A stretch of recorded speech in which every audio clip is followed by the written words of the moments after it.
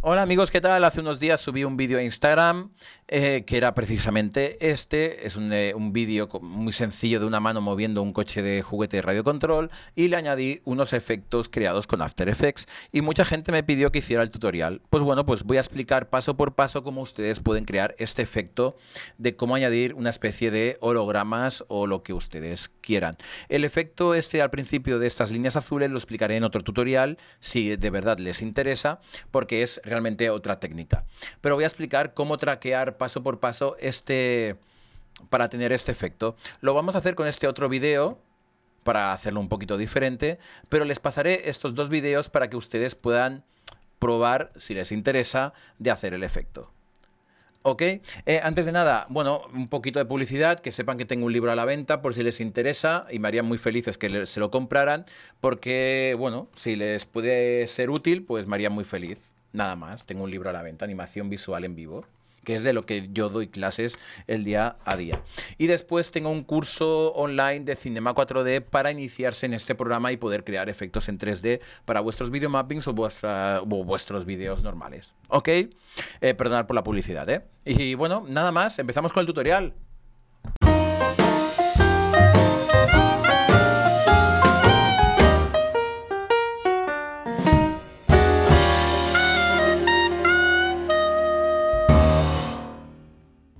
Muy bien amigos, pues vamos a empezar. Lo voy a explicar así, lo voy a intentar explicar lo más breve posible. Tengo estos dos vídeos que ya si quieren se los puedo dejar en, para que se lo puedan descargar en los comentarios del vídeo aquí en YouTube. Entonces lo que voy a hacer es, por ejemplo, este vídeo, hacer una nueva composición y ya lo tengo aquí. Entonces, tenemos el vídeo cuando quieran hacer eh, este tipo de efectos, tienen que mirar siempre que hayan vídeos donde el programa pueda coger puntos de rastreo. Me explico. Lo que hay que hacer es, en esta capa, eh, clicar botón derecho y donde pone track y estabilice, estabilize, eh, traqueo y estabilización, traquear cámara.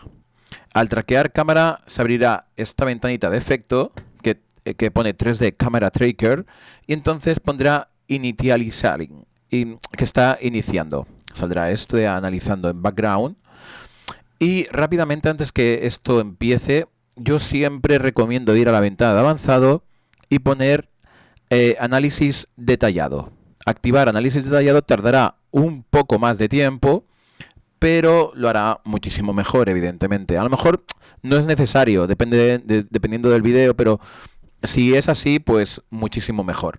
Bien, lo que comentaba es que el vídeo tiene que tener eh, facilidad para que el programa eh, pueda seleccionar eh, puntos de traqueo. Aquí, por ejemplo, hay un poco de reflejo del coche. Entonces, eso es un poco peligroso, pero en cambio, la zona, la mesa es de madera, entonces la madera nos da estos pequeños detalles y cambios de color donde el programa podrá referirse a esos puntos de traqueo.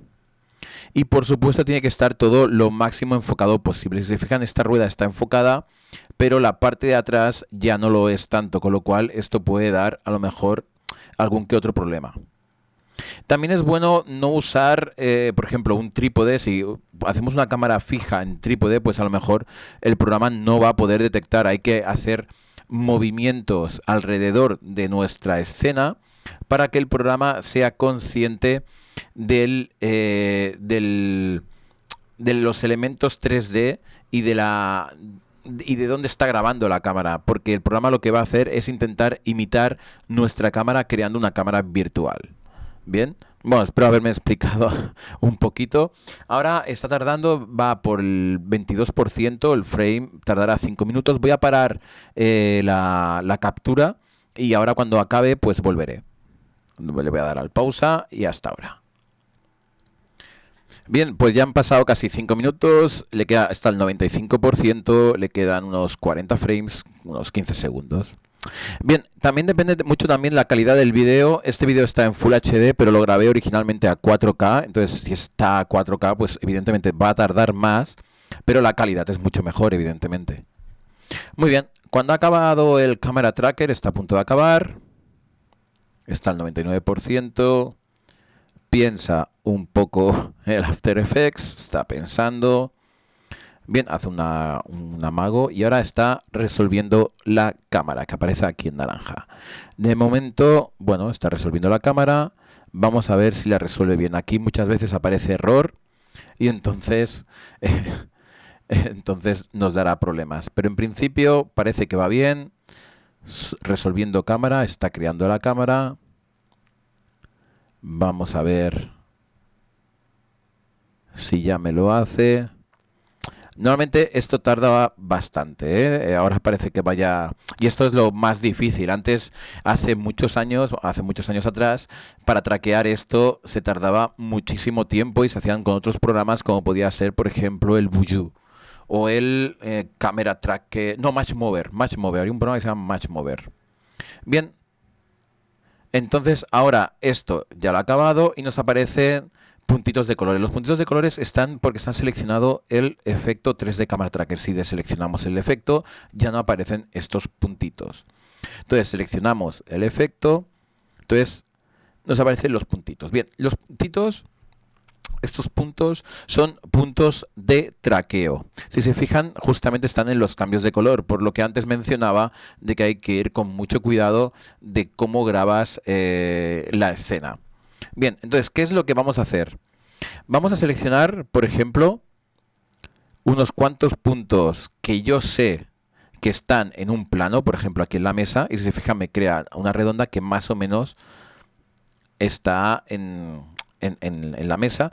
Eh, hay que tener en cuenta esto, por ejemplo, no voy a elegir un punto del coche y otro punto de aquí de la mesa, no, no tiene lógica. Voy a buscar puntos que yo creo que están en un mismo plano. Yo sé que la mesa es recta, obviamente, pues voy a seleccionar algunos puntos de la mesa. Cuantos más seleccione, mejor, pero cuidado que a lo mejor hay puntos que, nos pueden llegar a dar problemas. Entonces, cuando yo tengo seleccionados esos puntos, aquí encima clico botón derecho y al principio me pondrá Create Solid and Camera. Ahí, Create Null, Create Text. Eh, yo puedo crear directamente el sólido y así me crea la cámara, porque si no habría que crearla antes aquí con el programa, con el, uy, con el programa, con el, con el efecto que pongo aquí crear cámara, me habrá creado la cámara. Entonces ahora selecciono los puntos que yo quiera, por ejemplo estos, y puedo ya crear, bueno, voy a elegir algunos más. Cuantos más separados, pues también me va a indicar y se va a hacer más acorde con el plano. ¿eh? No siempre sale, es mucha paciencia. Y voy a crear un sólido. Hay que tener siempre mucha paciencia con esto porque no siempre todo sale a la primera. Entonces, si yo hago un play, veré que el plano, el sólido, está más o menos, parece encajar con, con la mesa. Ok, pues ya tenemos hecho mucho trabajo ya. Simplemente ahora lo que hay que hacer es clicar en el sólido, y lo que voy a hacer es, mm, en este caso no siempre eh, corresponde todo aquí, voy a moverlo y con la opción esta que tengo aquí arriba de rotación, voy a mover el eje así y voy a mover el eje, no moverlo así porque se puede hacer el loco, lo que hay que moverlo es encima de las flechas hasta que aparece la letra del eje que yo quiero mover. Entonces voy a rotarlo así y voy a rotar la X así. De hecho, voy a hacer control Z, voy a hacer otra cosa, voy a copiar este sólido y voy a rotar el sólido así. Que yo crea que está de forma perpendicular. Es decir, si yo avanzo el vídeo, este plano estará perpendicular al otro. Bien, ¿qué es lo que voy a hacer ahora? Para que se fijen lo que me ha creado el, After Effects, aquí en un view voy a poner cuatro vistas, cuatro views. Y ahora si se fijan, lo que me ha hecho es crear una cámara alrededor. Obviamente estos planos no están rectos porque el programa va a su bola, pero si se fijan, la cámara me ha, hecho unos puntos de movimiento y me intenta la cámara imitar el movimiento que yo he hecho con, con la cámara física de verdad. Vale, después de explicar esto, lo que voy a hacer es mover el sólido que he creado en vertical y lo voy a, me voy a guiar de aquí y la voy a mover en el eje Y hacia arriba. Hasta que yo creo que se cruzan un poco, no hace falta mucho más. De hecho, lo voy a bajar y lo voy a bajar de escala. Transformar aquí en escala. Lo voy a bajar un poco. Y subirlo hasta que creo que el límite de abajo toque la mesa, que es el plano que, me he creado al principio. Voy a poner ahora una vista. Eh, ya les digo, esto es que tienen que probarlo, ¿eh? Tienen que hacer muchas pruebas, muchos ensayos. Entonces ahora ya he creado los sólidos porque yo quiero poner aquí una especie de panel. Pues yo lo que voy a hacer aquí en este sólido es clicarlo aquí, clicar botón derecho y hacer una precomposición. Al hacer una, perdón, al hacer una precomposición me saldrá esta ventana. Entonces nos salen dos opciones. Esta de aquí arriba de mover todos los atributos a la nueva composición que yo creo. No, dejar todos los atributos aquí o mover todos los atributos a la nueva composición. A mí lo que me interesa es dejar todos los atributos aquí. Le voy a dar a abrir y voy a poner de nombre panel frontal. Le voy a dar al OK. Y ahora lo que me hace es, este sólido ya, no, ya deja de ser un sólido, si se fijan, ya es una composición. Y dentro de esta composición, pues obviamente está el sólido. ¿Qué es lo que puedo hacer con esto? Obviamente, ahora ustedes pueden poner, por, por ejemplo, aquí un texto. Hola, esto es un tutorial de After Effects. Y ahora esto, yo le voy a cambiar el color porque eso es horrible. Nada, simplemente es una prueba. ¿De acuerdo? Y si se fijan, ahora, al hacer esto, yo me vengo aquí a la composición original. Y ahora ya me lo ha colocado ahí. Y aquí directamente elimino o dejo de ver el traqueo verde entonces parecerá que hay un texto aquí y estará perfectamente traqueado. Obviamente, si yo quiero colocar aquí otra cosa, pues hago otra precomposición. Lo mismo. Panel del suelo delantero o de frontal, bueno, da igual, delantero. Es el nombre me es indiferente. Entonces, aquí yo puedo colocar, por ejemplo, eh, bueno, hacer un grid directamente aquí, me vengo a un efecto, eh, que lo tengo por aquí, que creo que se llama grid. Grid, correcto, generate grid. Yo clic aquí, me hace un grid, que además me lo hace transparente, me vengo al principal coche y ya, o sea, a la principal composición, donde tengo el coche, y ya me ha hecho aquí el grid. Obviamente este grid queda por encima del coche. ¿Cómo lo podemos subsanar? Pues lo podemos mover aquí, podemos acabar de rotarlo por el eje Z para que quede aún más recto y por ejemplo pues ya estaría. Obviamente aquí no queda muy bien, pero esto podríamos seleccionar el vídeo, hacer una copia del vídeo. ahora estoy haciendo una copia, Tarda un poco. Vale, ya me la he hecho. La, ponerla por encima y podría crear aquí una máscara. Obviamente todo esto hace más trabajo. ¿Vean? ¿Sí? Para recortarlo, pero esto ya es otra cosa de otro tutorial. O directamente lo vamos a hacer más fácil. Le voy a dar a escala y le voy a escalar más pequeño. Entonces, tendría el panel aquí. Que quiero poner, por ejemplo, bueno, esto lo podríamos rotar o directamente aquí.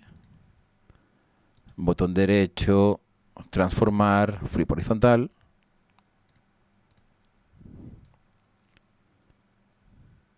Ok, también podríamos poner algo aquí en el suelo o, o en la parte en la parte vertical, ¿no? O sea, la parte frontal, pero esta vez en el lateral, por ejemplo, es clicando aquí en 3D Camera Tracker yo puedo seleccionar todos estos puntos. No me fío, no, no queda, el, el círculo este no queda del todo bien.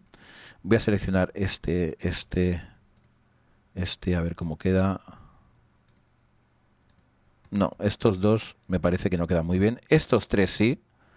Estos puntos de aquí sí que creo que quedan bien. O sea, tienen que quedar lo más parecido como si este círculo estuviera justamente en, en la mesa.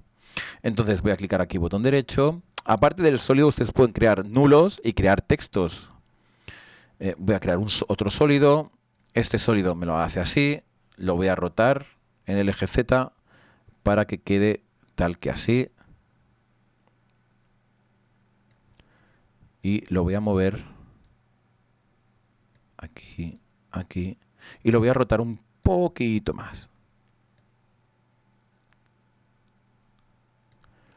¿Sí? Entonces ahora, al darle play, no me gusta cómo ha quedado porque si se fijan aquí está muy cerca de, la, de, las ruedas del coche y aquí hay otra distancia, con lo cual no me acaba de convencer este sólido, es lo que les decía. Podría dar, dar la sensación de que está ahí y no habría problema, pero si somos un poquito más delicados, Claro, si se fijan, este punto de traqueo me da la sensación de que es por el reflejo del coche, con lo cual da, eh, es posible que dé errores. Es mucho mejor coger puntos de traqueo de aquí. Sí, estos me fío más.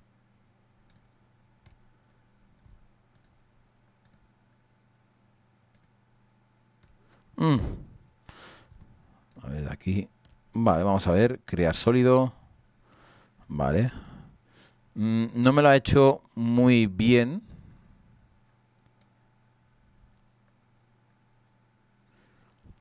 Pero al contrario del otro, lo voy a intentar poner un poquito paralelo aquí. Vamos a ver cómo ha hecho. No, no, no me lo ha hecho otra vez bien. Voy a probarlo una, una tercera vez. Tengo aquí puntos de traqueo, me voy a ir un poquito más al final del vídeo voy a seleccionar estos de aquí, estos puntos de traqueo de aquí, más este de aquí. Vale, muy bien. Voy a probar esto. Crear sólido. Perfecto, selecciono el sólido. Voy a rotarlo. Yo creo que ahora sí. Voy a escalarlo para hacerlo más pequeño. Y ahora voy a moverlo en este eje, en el eje X. Entonces ahora, este ya me gusta más. Si se fijan, mm, es como si estuviera más abajo. Pero bueno, no me importa, porque mi intención es subirlo hacia arriba, girarlo ¿De acuerdo? Lo voy a escalar un poquito más pequeño. ¿De acuerdo? Y ahora lo que voy a hacer es... Tengo uno aquí. Y lo que voy a hacer es hacer una copia, control C, control V. Y esta la desplazo.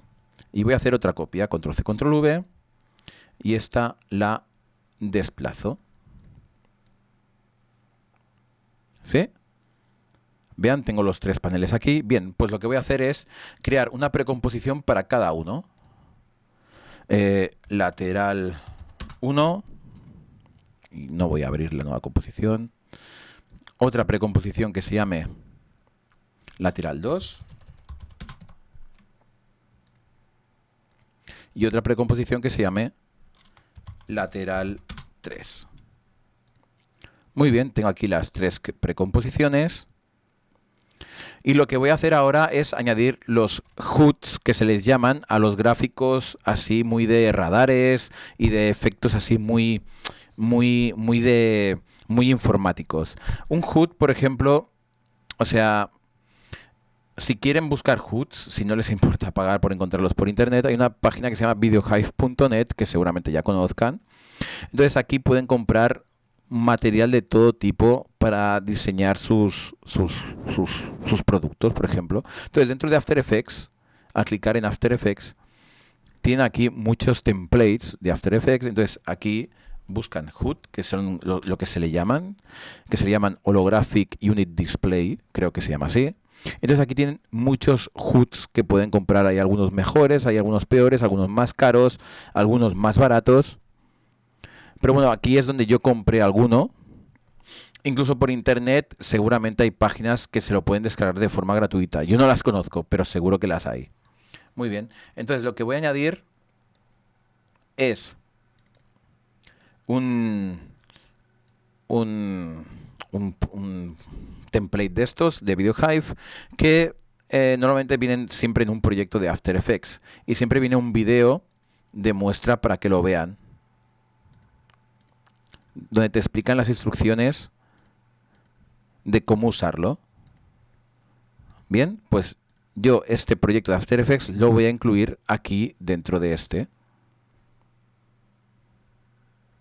Entonces ahora me abrirá, me está importando todo el proyecto, seguramente me, dará problemas eh, por el tema de los textos, de las fuentes de los textos que yo no tendré, eh, que yo no tendré en mi ordenador y me las pedirá, pero por lo demás no tendría que haber ningún problema.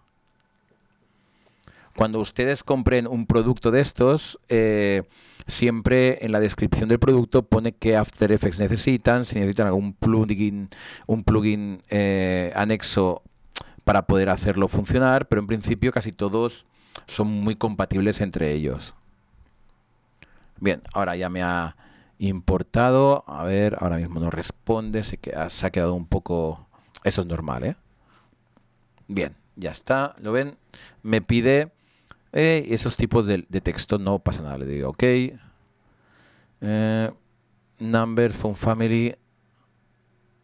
Vale, sí, problemas con las fuentes, no hay problema.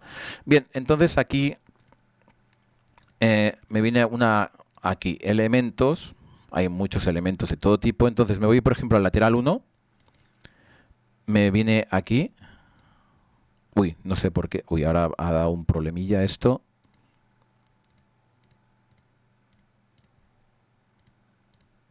Uy, qué raro esto que se me ve.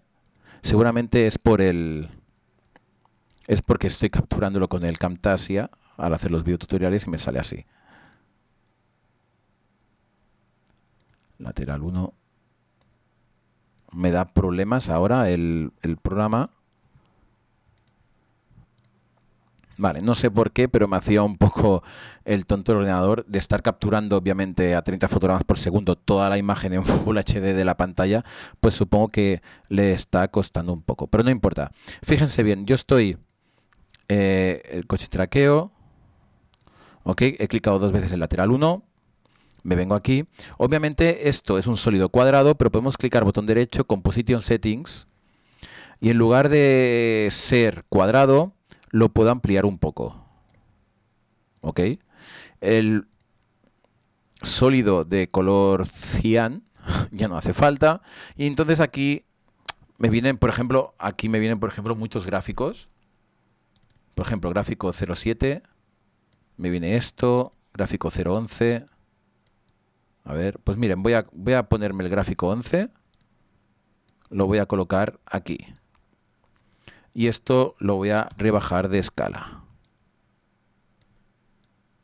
Ok, si yo pongo transparencia se verá casi todo transparente. Si me voy al vídeo del coche original, ya tengo aquí el diagrama. Me voy al lateral 2, voy a hacer lo mismo, voy a ampliarlo un poco más laterales, da igual la resolución, tampoco hace falta que sea Full HD, no importa. Eh, la unidad, eh, la unidad no, el sólido celeste no me hace falta me voy a poner aquí, por ejemplo, a poner algo, es que me da igual, fórmula, una fórmula química, pues mira, voy a colocar esta aquí, otra fórmula química aquí, estoy haciéndolo para que lo, que lo vean rápido, ¿eh?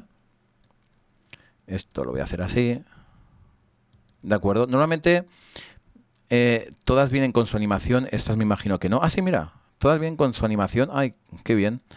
Entonces me voy aquí a coche traqueo y verán que tengo aquí el otro diagrama. Voy aquí otra vez al lateral 3, Composition Settings, voy a ampliarlo un poco, voy a eliminar el sólido. yo siempre lo dejo en invisible porque nunca se sabe. Y por ejemplo, map wall. Voy a poner Google Map for Sphere. Pues mira, voy a poner esto aquí. Así a ver cómo queda.